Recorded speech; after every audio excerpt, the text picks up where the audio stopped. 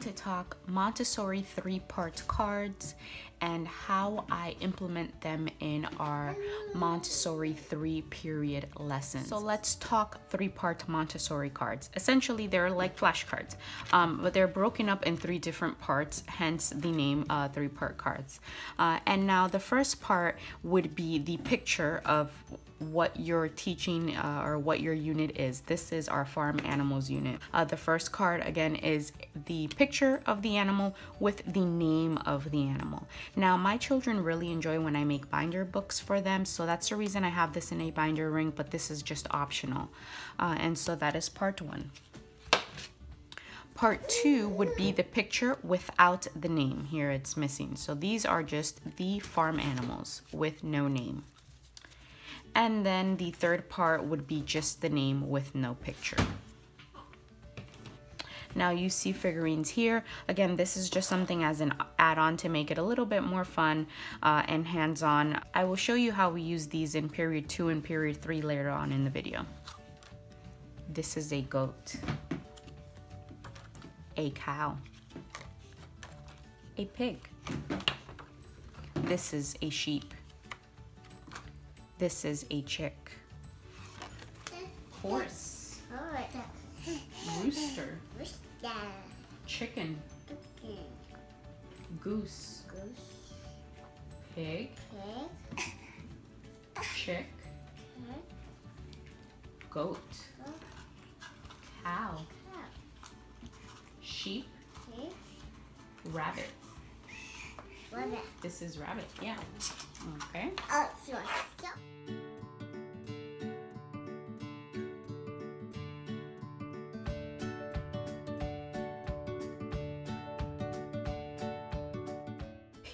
Two is known as the can you show me period. I have used the loose cards for period two and the cards that only have the picture.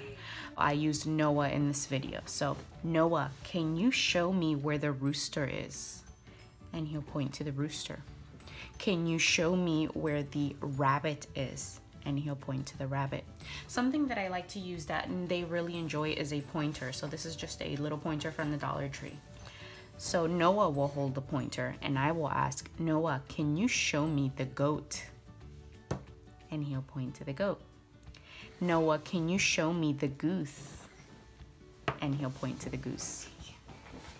Something else that you can also add for period two are the figurines. So Noah, can you show me where the cow is?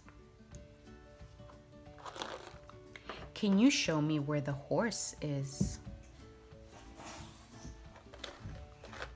Can you show me where the goat is?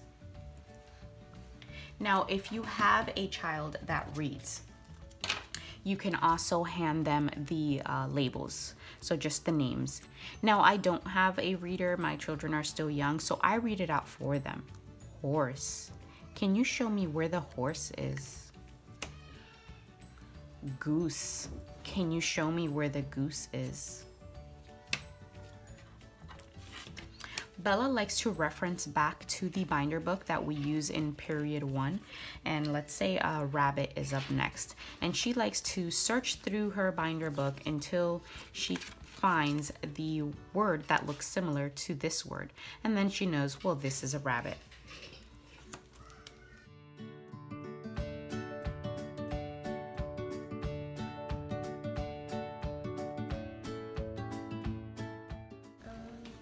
Can you show me where the goat is?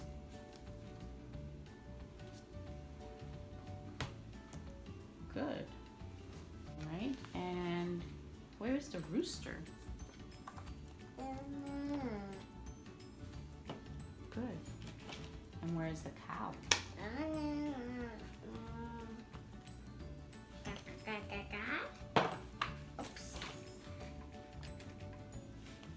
Where's the rabbit? This says rabbit. Can you put it with the rabbit? Rabbit. Where's the rabbit? Good job, buddy. This says sheep. Can you put it with the sheep? Yeah. Good job. This says horse. Can you put it with the horse?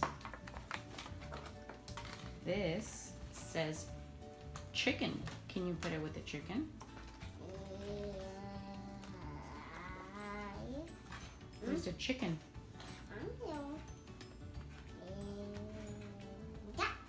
Good. This says goat.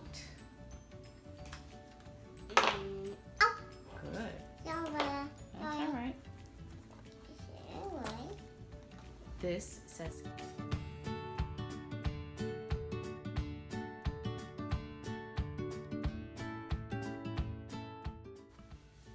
Period three is known as the what's this period. So this is when you're asking your child, what is this? Uh, now, if you notice, I did uh, mix up the order of the cards from uh, period two into period three uh, because you don't want your child to be able to answer uh, the what's this by muscle memory. So because they've just memorized the order or the sequence of the cards. Uh, so make sure you are mixing up your cards. So Noah, what's this? And Noah will answer, This is a pig. Noah, what's this? And Noah will answer, This is a sheep. Noah, what's this? He will answer, This is a rabbit. Now, this is another uh, good period to go ahead and use your uh, characters if you didn't use them in period two. So I will say, Noah, what's this? And he will answer, This is a horse. Noah, what's this? This is a goat. And what's this? This is a cow. What's this? This is a rooster. Now let's say you are going through your cards and you'll see in the video that Noah had a hard time with remembering goose. So I just note that, right? A mental note uh, and I continue to go through the cards and I go back to goose. And if he gets it wrong again, I go back to goose and I go back to it about three separate times um, before I do resort to back to period two, or maybe you might even have to resort back to period one and that this is and introducing the farm animal names again and then going back period two and period three. So in period three, if you do have a reader, you would also be able to use your label part of the cards. So you would say, what's this? Or what does this say? Your child will answer, rabbit. What's this? Your reader will answer, Goose. What's this? Horse. Now, something that I do want to point out of doing the uh, figurine to card match is that you want to make sure that the figurines that you're using and the images that you're using on your cards are uh, similar in color, um, in stance, so for example, uh, this is a brown horse with white hair around its hooves, the same as my image.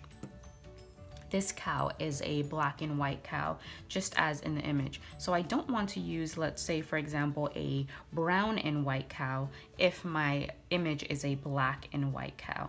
Um, now, you can match the figurine to the image or depending whatever set of figurines you have purchased or come across you just match the image to that. A very popular brand that is commonly used with three-part montessori cards is called safari ltd and the sets are called Toobs.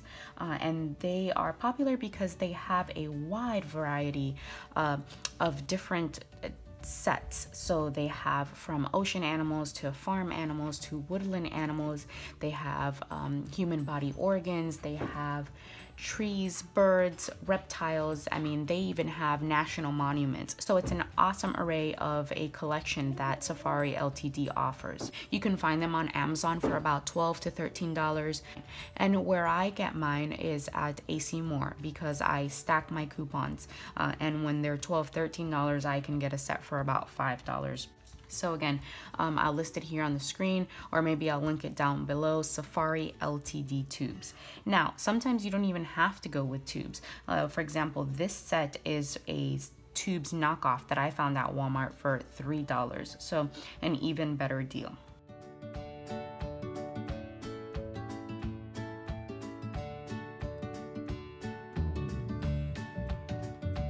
For a minute. Noah, what's this? Puss. Horse. And what's this? Rooster. Rooster. And what's this? Pig. Pig. And what's this? Sheep. Good. And what's this? Goosey. Goose. Good. Goose. And what's this? And cow. Cow.